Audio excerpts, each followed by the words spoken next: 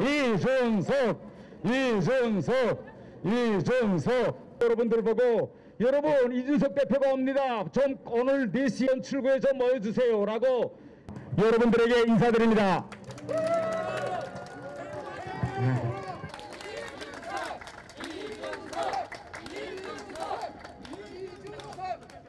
이 결혼을 하기 위해서 연애를 포기해야 되고 연애를 하자니 돈이 부족해서 결혼을 할 수 없는 이 지금 문제를 이준석 대표님께 어떻게 해결해 줄 수 있는지 여쭤보고 싶습니다. 이상입니다. 아유 코멘트 한번 해주시죠 당 대표님 제가 말씀하신 부분에 대해 가지고 아주 정확한 해법을 알고 있다고 한다면은 제가 아마 바로 대통령 나가 될 겁니다. 예. 근데 제가 이제 그 말씀하신 부분, 그 결혼과 그리고 또 연애와 여러 가지 그 다른 꿈들 중에서 택일하지 않으면 되는 상황을 이렇게 어, 정치권이 만들었다는 것에 대해서는 어, 굉장히 우선 저도 분노하고요. 왜냐하면 저도 사실 제가 뭐 금전적인 어려움 때문이 아니더라도 제 꿈을 포기해야 되는 상황이 발생하면은 굉장히 화가 나게 되어 있습니다. 그렇기 때문에 더욱더 그 안에서 강제된 상황이라면 되게 화가 날 것이다 를 생각하고요.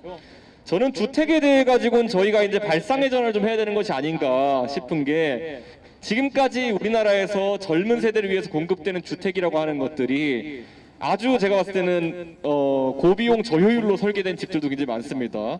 예를 들어서 뭐 방수도 그렇고요. 주방 설계나 아니면은 또 다용도실 같은 것도 설계되어 있는 것들이 비효율적인 구조로 되어 있는 경우가 있어서 저희 대선 공약으로 저희가 좀 연구해 보고 싶은 것은 아주 컴팩트하게 공간 활용을 할 수 있어가지고 집값을 낮출 수 있는 방안을 저희가 좀 연구해 볼 테고요. 두 번째로는 지금 여러 가지 아이디어들이 있습니다. 예를 들어 정의당 같은 데서는 기본 자산제를 통해 가지고 젊은 세대의 사회 진출을 빠르게 하자고 이야기하고 있고요. 그리고 이재명 지사 같은 분들은 기본소득제 같은 것을 꾸준히 이야기하고 있겠죠. 근데 저희 같은 경우에도 어떤 그런 결국엔 목돈을 쉽게 마련할 수 있는 대책이 있어야 되는 것인데 제 책에 보시면 아마 제 개인적인 생각은 있을 겁니다. 그런데 이 당의 당론을 만들기 위해 가지고 제가 꼭 그 자산을 만들 수 있는 방법에 대해 가지고는 대선 전에 해법을 내놔 가지고 공유할 수 있도록 하겠습니다. 제 책에 있는 내용을 관철시킨다면은 어, 기본 대출제가 될 텐데 당에 있는 구성원들이 받아들일지는 좀 더 연구해 보겠습니다. 병원의 digitalization을 촉진을 하기 위해서 그래서 이 병원 인증 평가에 digitalization이라는 이 항목을 놓고 그리고 이거를 하겠다고 병원 측이 한다고 하면은 국가에서 이거를 지원을 해주는 그런 걸 하면 좋겠다고 생각하시는데 생각하는데 이거에 대해서 어떻게 생각하시는지 좀 궁금합니다. 의료 분야에 관한 분 예, 사실 아, 그러니까 괜찮을까요? 저도 주변에 이제 그 의료 디지털 장비 이제 하시는 분들 아는 기업인들이 있어가지고요.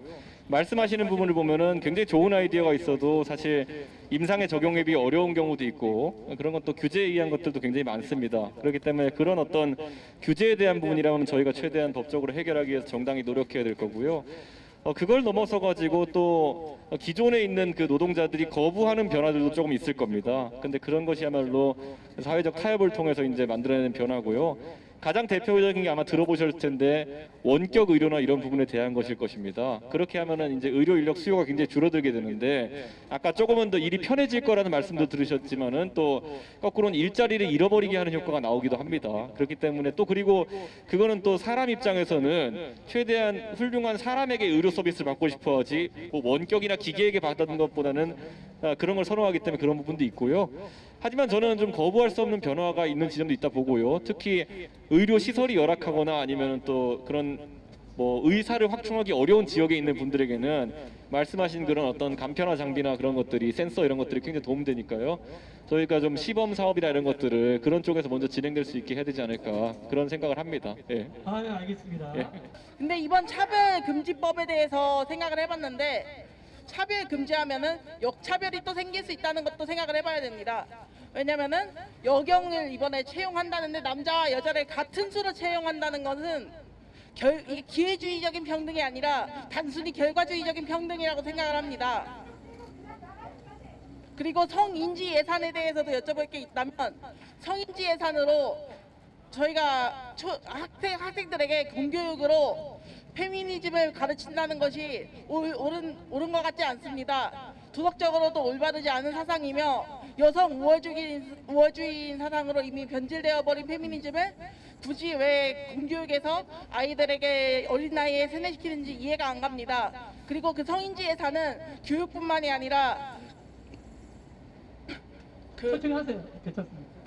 성매매 여성들에게 지원이 되고 있다고 들었습니다. 1년에 2천만 원씩 되는 세금을 왜 그 성매매 여성들에게 그것도 끌려간 것도 아닌 자발적으로 성매매를 한 여성들에게 나눠줘야 되는지 저는 의문이 갑니다.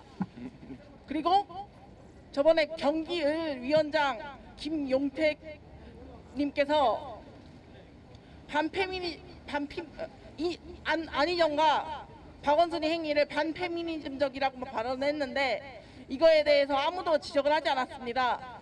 반페미니즘적이라는 것은 안티페미니스트를 얘기하는 거지 페미니즘 페미니즘은 그럼 여, 여성 우월적인 적 그거에 대해 반대한다는 뜻이지 그렇게 성범죄를 저지른다는 뜻이 아닙니다. 그, 그러므로 성인지 예산 해체와 성인지 예산 해체와 그리고 천천히 하세요. 네. 네. 아주 뭐 지금 다양한 분야가 나오고 있습니다.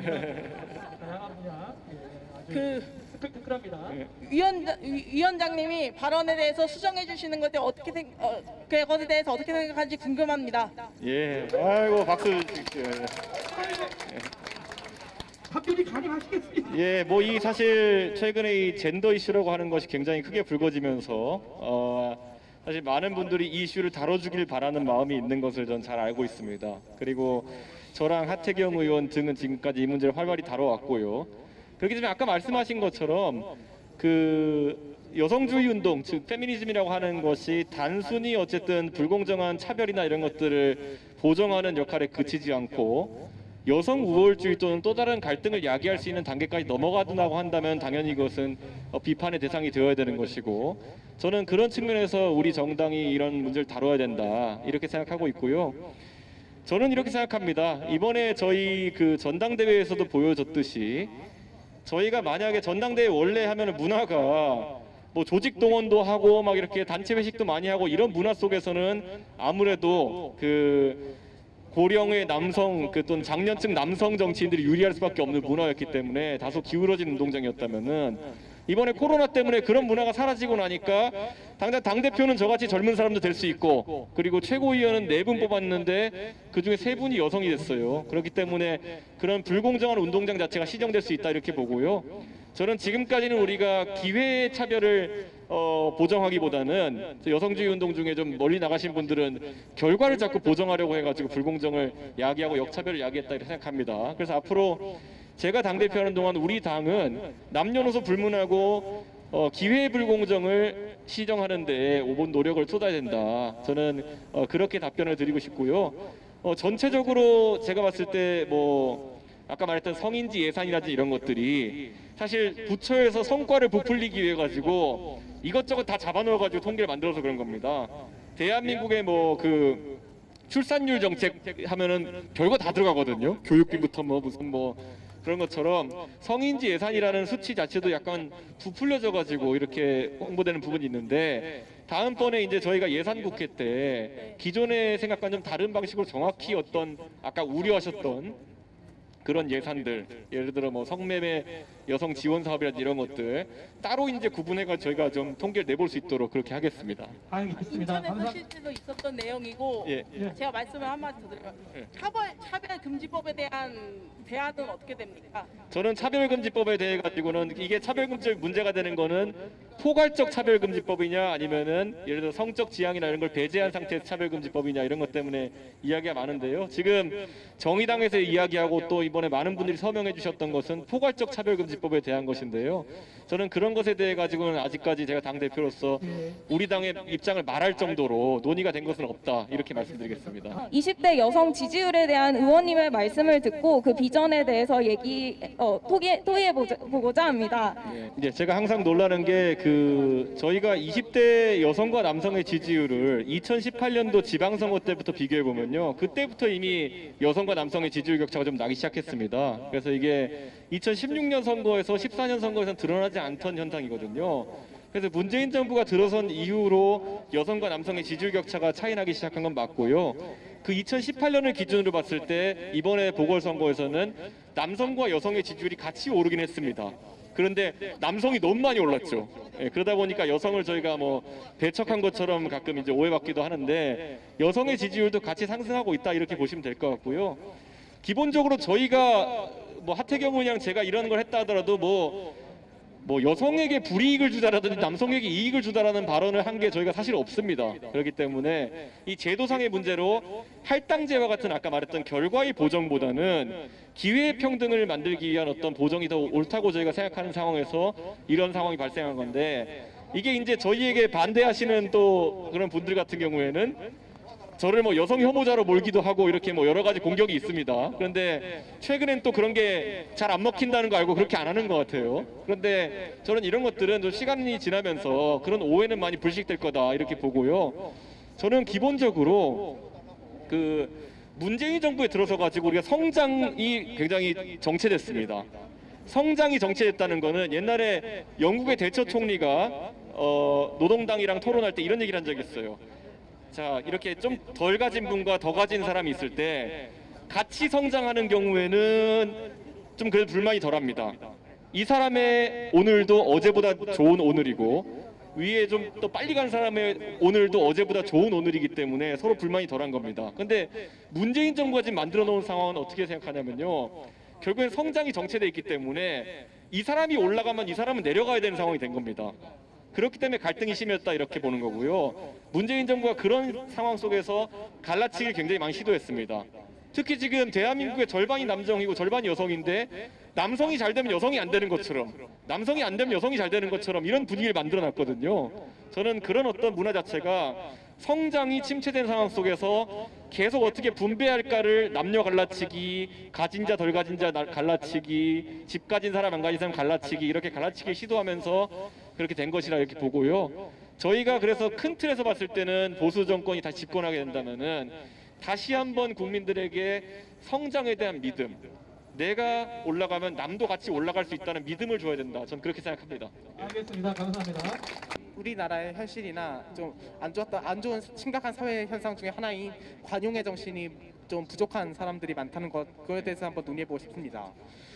요새 세상에는 막 자기와 다른 자기와 다른 사람을 막 싫어하고 막 배척하는 그런 분위기가 막 그런 분위기가 막 대- 많이 많습니다. 게다가 또 무엇보다 다, 다, 다, 다, 자, 모든 사람 타, 사람은 다 다르지 않습니까?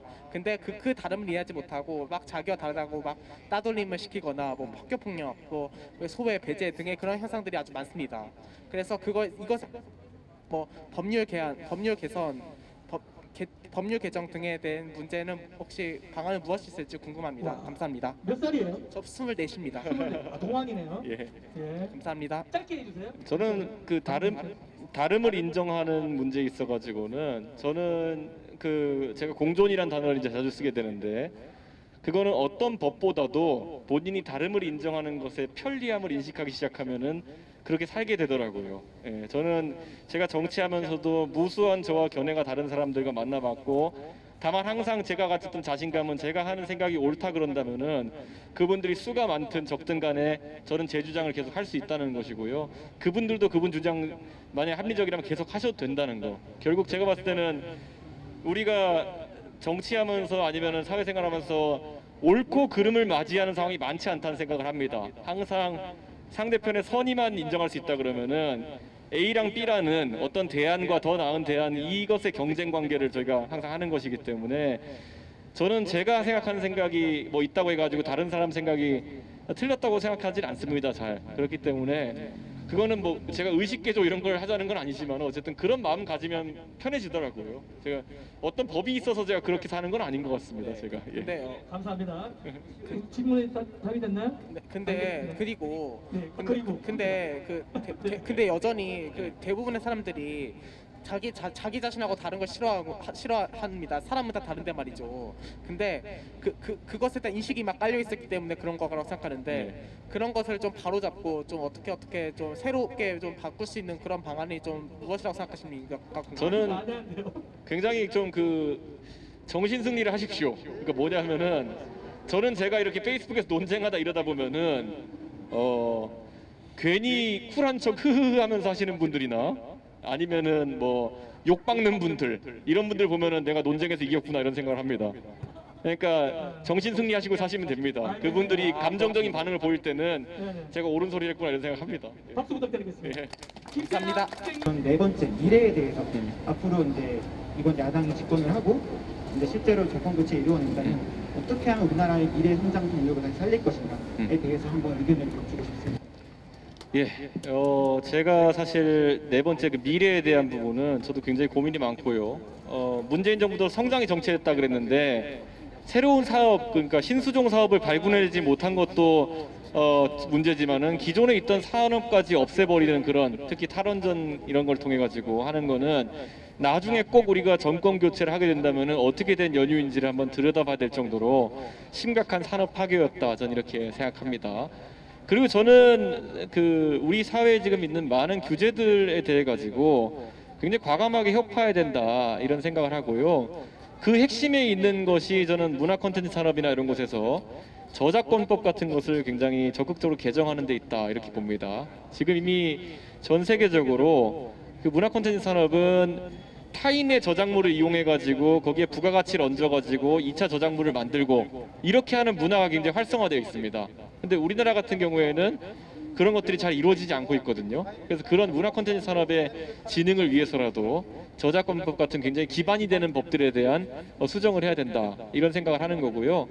지금 창업 자금 지원이나 이런 것은 갈수록 상황이 그래도 해를 갈수록 좋아지고 있습니다. 다만 이제 기술 기반 창업에 대한 어떤 지원보다는 최근에는 좀 비즈니스 모델을 기반으로 하는 어떤 창업에 대한 지원이 많았었는데 저는 저희가 크게 크게 신수종 사업 만들려 그러면은 기술 창업에 대한 지원을 특히 많이 할 필요가 있다 이런 생각을 하는 것이고요. 저는 앞으로 어, 저희 당이 집권을 하게 된다면은 창업 정책의 궤를 완전히 바꿔야 된다 아, 그런 생각을 하고 있습니다. 예. 예.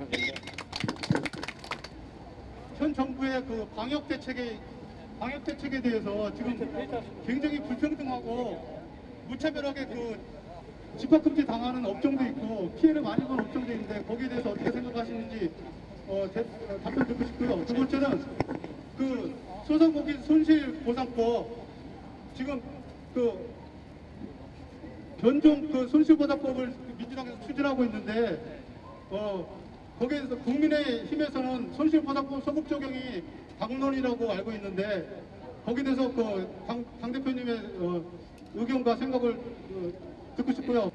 기본적으로 그 우리 당의 최승재 의원님께서 이 문제에 대해서 굉장히 많은 관심을 가지고 계시고 또 꾸준한 노력을 해오고 계십니다. 그리고 또 그 정신을 이어받아 가지고 어, 저희 당은 손실보상법 같은 경우에는 소급 적용을 꼭 해야 된다라고 어, 당론을 가지고 있습니다. 어, 그리고 어, 이번에 문재인 정부에서 결국에는 또 이걸 지원금 형태로 나눠서 지원하겠다고 하는데 제가 민주당 쪽에 그 논리를 좀 들어보니까 어, 손실보상 쪽으로 가게 되면 오히려 뭐 뱉어내야 될 뿐이 있다 이런 원색적인 표현을 쓰면서 이제 어, 그걸 안 된다고 하는데 저는 이렇게 생각합니다. 더 이상 대한민국이 2020년대에 들어서 가지고 국가를 위한 개인의 희생이라는 그런 한마디로 퉁치려고 하는 그런 어떤 문화는 사라져야 된다 이렇게 생각합니다.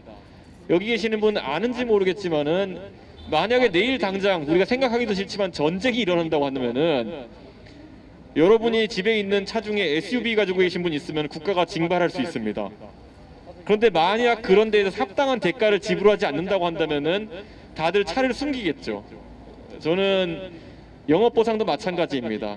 어떤 코로나라는 전쟁과도 같은 어떤 국난에 대해 가지고 협조했던 국민들이 합당한 보상을 받지 못하는 선례가 세워지게 된다면은 나중에 진짜 전쟁 같은 일이 터졌을 때 국민들에게 국가를 믿고 희생해 달라고 말할 수 있겠습니까? 그렇기 때문에 저는 이 영업 보상 문제에 있어 가지고는 당연히 소급 적용을 통해 가지고 손실 보상 우선 그 원칙은 세워 놓고 그 안에서 다만 예를 들어 예산이 부족하다고 하면은 국민들에게 솔직하게 말씀드리고 전액 보상은 어렵다. 그러면은 실제 피해에게 어느 정도 선까지는 최대한 예산을 짜보겠다. 이런 이야기를 할 수 있어야지만이 진정한 국가다. 저는 그렇게 생각합니다. 아유, 감사합니다. 네, 끝좀 부탁드리겠습니다. 예, 감사합니다. 제가 뭐 정권이 어떻게 바꾸고 뭐, 뭐 어떤 게 바뀌는지에 대해서 제가 뭐 말씀드릴 수는 없지만 그래도 이 대한민국에 있는 스포츠 스타들 운동을 이제 시작하는 꿈나무들을 위해서 무언가 조금 더 마음 편하게 운동만 할 수 있는 그런 정책을 하나 만들어 주셨으면 좋겠습니다. 예. 아이, 뭐 아까 스폰서 문제 이런 것들 같은 경우에는 사실 우리나라에서 어, 준공기업적 성격을 가진 어떤 기업들이 있습니다. 그곳에서 어, 비인기 종목들을 지원하기 위한 노력들을 많이 하고 있는데요. 네. 어, 최 선수님 사정처럼 만약에 그런 것들이 살피지 못한 부분이 있으면은 제가 또 그분들한테 지원해라 이야기하면은 그게 또 말이 안 되는 네, 것이기 맞습니다. 때문에 아, 최 선수님 노력이 많이 어, 그분들에게 닿을 수 있도록 네네. 그리고 비춰질 수 있도록 저도 제가 할 수 있는 위치에서 노력을 하겠습니다. 아, 네, 예. 감사합니다. 관심 좀 많이 가져주십시오. 계속 소개할게. 어, 사실은 시스템이가 굉장히 여러분들의 관심을 많이 갖고 있어요. 그런데 제가 이준석 대표님께 정말 저는 멋있다고 생각했던 게 뭔지 아세요? 한마디로 정의를 해주셨어요. 선과 악의 싸움으로 몰지가 돌아가지 마라. 제가 질문을 드리고 싶은 게 있어요.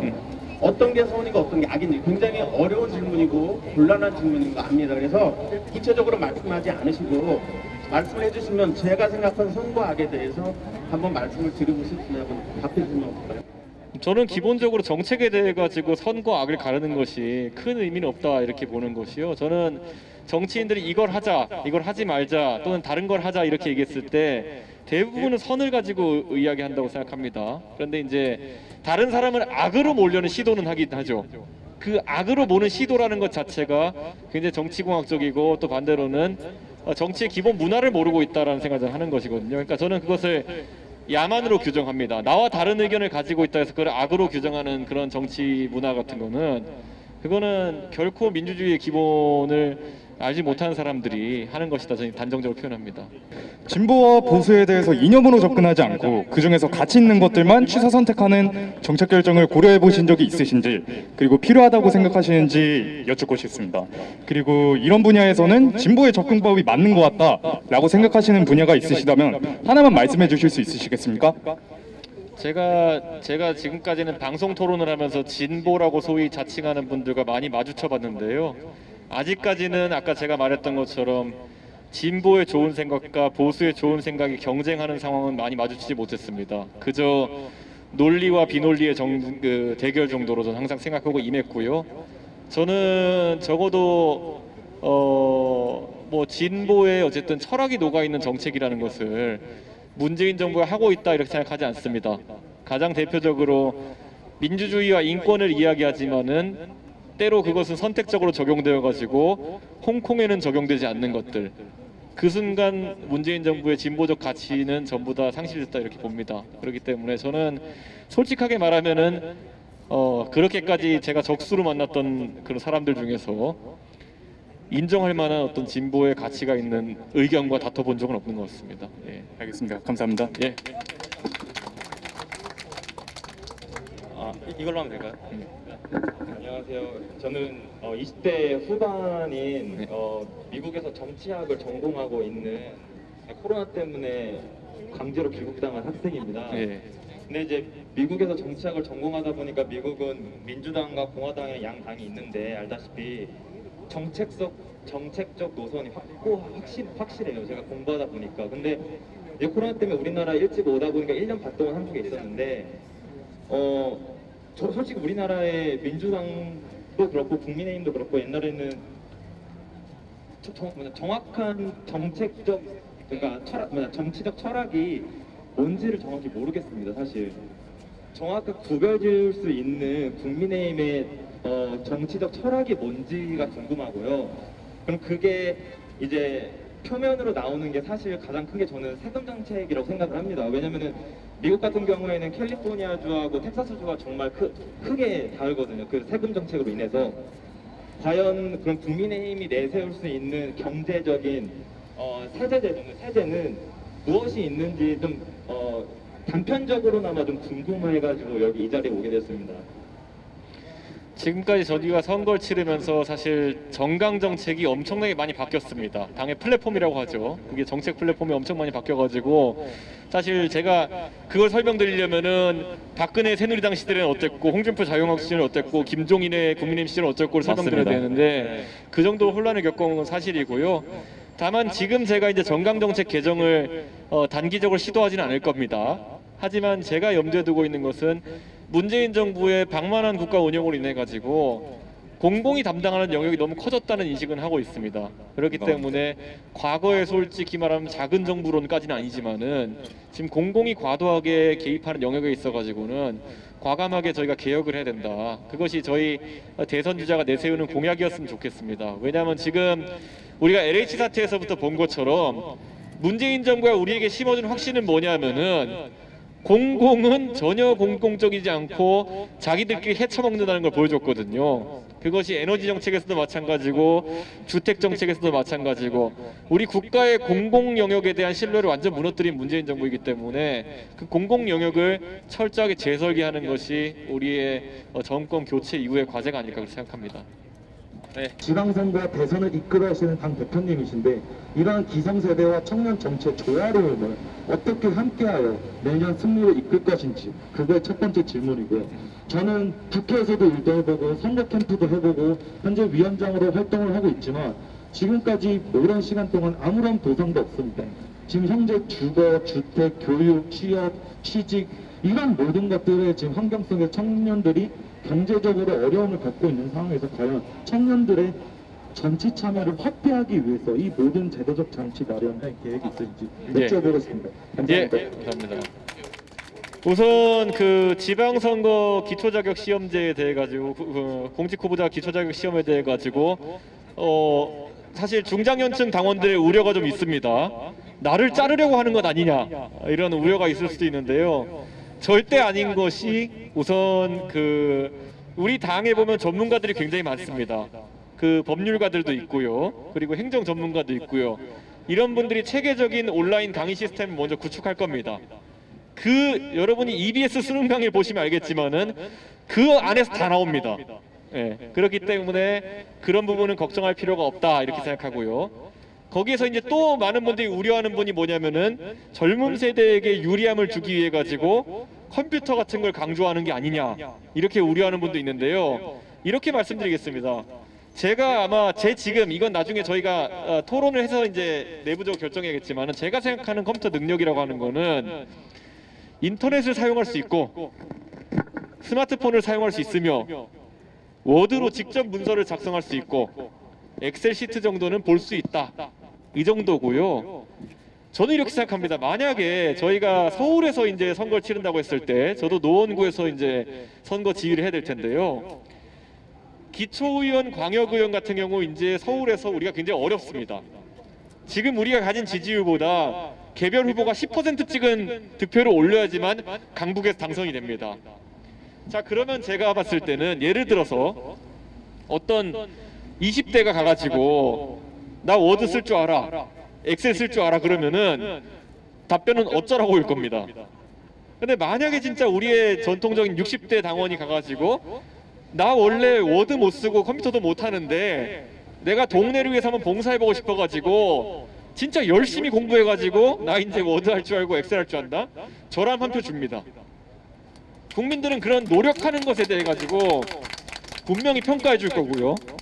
저는 오히려 이 제도가 정착되면요. 그 변화를 따라가지 않은 민주당에 비해 가지고 우리 후보들 하나하나가 10%씩 더 득표할 것이다 이렇게 봅니다. 그러면 저희가 서울에서 기초의 광역에 압승할 수 있는 겁니다. 그렇기 때문에 우리는 앞으로 노력하는 모습을 보여야 되는 정당이 되는 것이고 저는 그 모습 보였을 때 우리가 꿈꾸지 못했던 지방선거 서울 압승도 만들 수 있다. 저는 그런 생각을 하기 때문에 만약에 오해가 있으면 제가 끝까지 설득하겠습니다. 그래가지고 이 변화는 한번 만들어 나가도록 할 것이고요.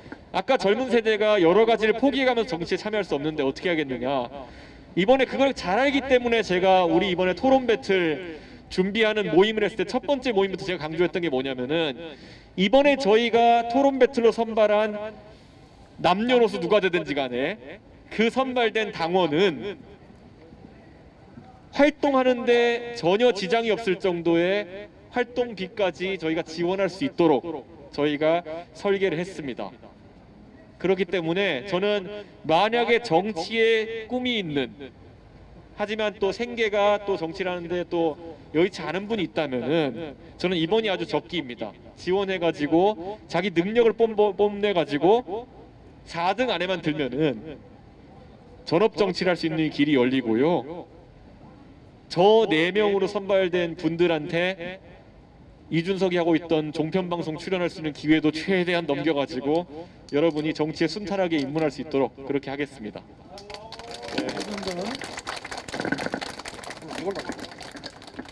고맙습니다. 뿌리 깊은 군 내부의 비리들로 인해서 피해받는 장병들의 사례를 줄이기 위해서라도 어떤 정책 기조를 가지고 계신지 내년 대선에 병역 제도 개편에 대해서 어떤 생각을 갖고 계신지 궁금합니다. 예. 예, 제가 어, 이 말씀을 듣고 보면은 참 하태경 의원과 제가 지난 3년 동안 해왔던 활동들이 다 하나씩 머릿속을 지나갑니다. 그런데 어, 아마 언론에는 처음 공개하는 걸 텐데요. 그 제가 6월 11일 날 이제 그 당 대표가 되고요. 14일인가요?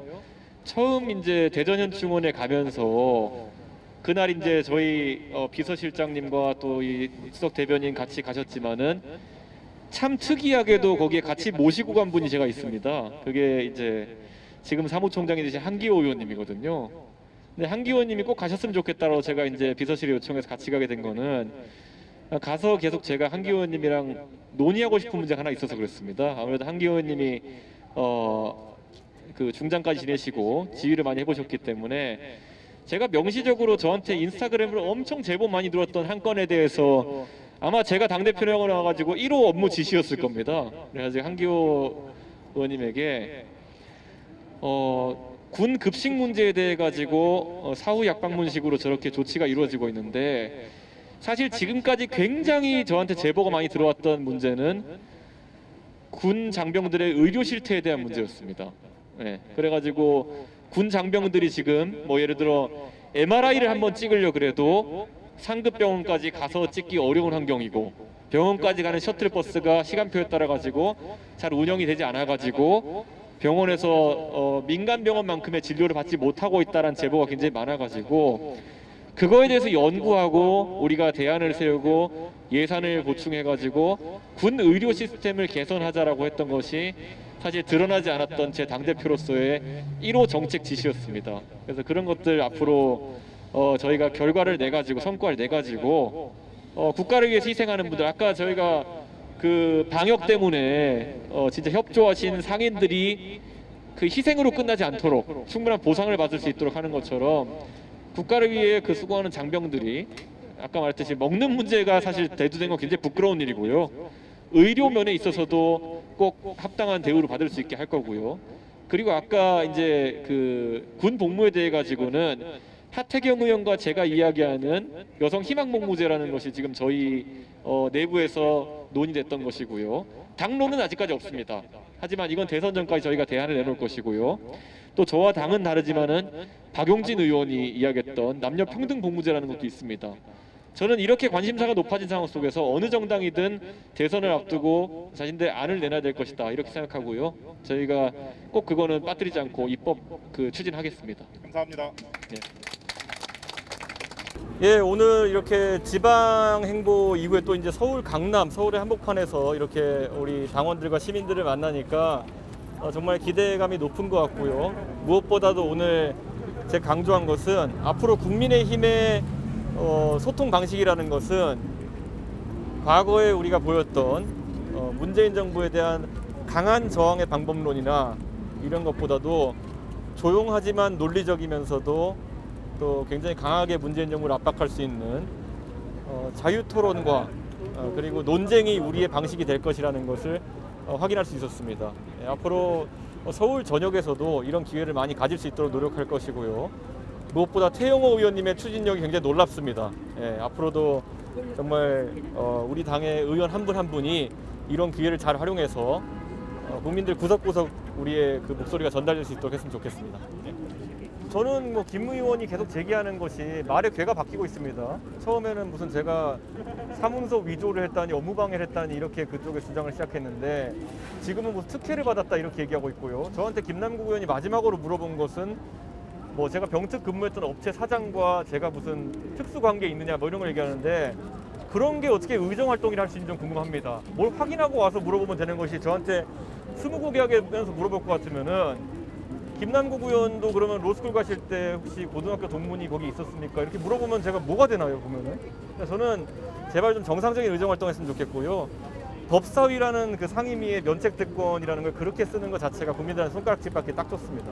저는 굉장히 부적절한 어떤 방식의 그런 어떤 언급이었다 이렇게 보고요. 저는 기본적으로 윤석열 총장에 대한 마타도가 앞으로 많아질 것이라 생각하고요. 어, 저희 당 김재원 최고위원님께서 말씀하신 것처럼 그렇게 됐으면 그 내용을 파악하고 있는 당사자는 내용을 공개해라. 왜냐하면 저는 확신합니다. 문재인 정부가 윤석열 총장을 탄압하기 위해서 그렇게 노력을 많이 했는데 만약에 윤석열 총장이 뭐그 그런 어떤 엑스파일이라는 문서로 돌아다닐 만한 그런 결함이나 아니면 잘못이 있었다고 한다면은 작년에 이미 그걸 바탕으로 해가지고 윤석열 총장 을 압박했을 것입니다. 그런데 그렇게 하지 않았다는 것은 그 엑스파일이라는 것이 진실이 아닌 내용을 담고 있거나 아니면은 크게 의미가 없는 내용을 담고 있을 가능성이 높다. 저는 이렇게 판단합니다. 저는 우선 그 내용을 열람한 적이 없기 때문에 근본에선 선제적으로 판단하지는 않겠지만요. 다만 범 야권 주자에 대한 그런 어 여러 가지 공격 같은 경우에는 이미 예상되었던 일이고 저는 우리 당의 지금까지 서울시장 때도 그렇고 네거티브에 대응하는 노하우와 무엇보다 전문적인 인력이 있기 때문에 저는 범야권 주자라면은 우리 당에 들어오는 순간부터 그런 대응에 대한 조력을 받을 수 있을 것 같다 이렇게 말씀드리겠습니다. 뭐 김종인 위원장께서는 뭐 애초에 직위나 이런 것을 탐하시기보단 본인의 역할에 대해서 이제 관심이 많은 분이기 때문에요. 저는 어떤 대선 주자가 저희가 들어서고 그분과의 어떤 상호 보완적 결합을 통해서 본인이 할 수 있는 역할이 있다 생각하시면은 당연히 당을 도와주시리라 이렇게 믿고 있습니다.